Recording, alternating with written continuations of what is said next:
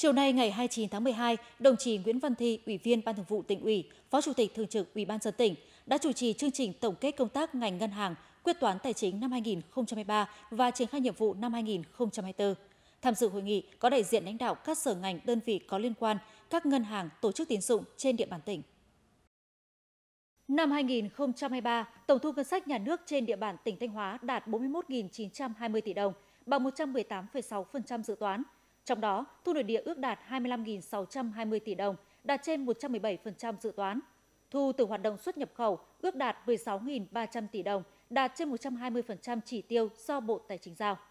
Trong năm, ngành ngân hàng Thanh Hóa đã chủ động thực hiện các giải pháp để tháo gỡ khó khăn, tạo điều kiện phục hồi và tăng trưởng, chủ động đưa ra nhiều gói tín dụng ưu đãi để hỗ trợ kích cầu tín dụng cho doanh nghiệp. Dự ước đến hết năm 2023, tổng nguồn vốn huy động đạt trên 164.000 tỷ đồng, tăng 18%, tổng dư nợ ước đạt trên 190.000 tỷ đồng, tăng 8,2% so với đầu năm. Phát biểu tại hội nghị, Phó Chủ tịch Thường trực Ủy ban dân tỉnh Nguyễn Văn Thi đánh giá cao những nỗ lực, kết quả khá toàn diện mà các đơn vị ngành tài chính Ngân hàng Thanh Hóa đạt được trong năm 2023.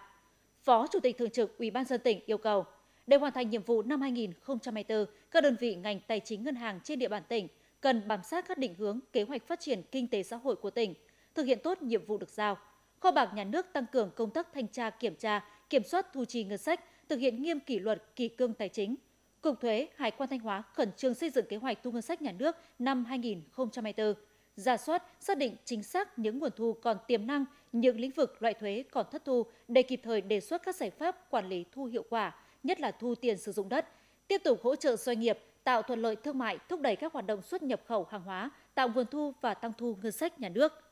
Phó Chủ tịch Thường trực Ủy ban dân tỉnh đề nghị Ngân hàng Nhà nước chi nhánh Thanh Hóa chỉ đạo các ngân hàng thương mại và các tổ chức tín dụng áp dụng thủ tục cho vay thông thoáng, giảm lãi suất cho vay, tăng cường thông tin, hướng dẫn khách hàng, các đối tượng thụ hưởng tiếp cận chính sách, các chương trình hỗ trợ tín dụng và các sản phẩm, dịch vụ đang cung cấp. Đồng thời, có các giải pháp nâng cao chất lượng tín dụng và thu hồi xử lý nợ xấu, hạn chế tối đa nợ xấu mới phát sinh. Các ngân hàng thương mại triển khai hiệu quả các giải pháp tạo điều kiện thuận lợi cho các doanh nghiệp, người dân tiếp cận vốn tín dụng, nâng cao khả năng hấp thụ vốn, góp phần thúc đẩy phát triển kinh tế xã hội của tỉnh.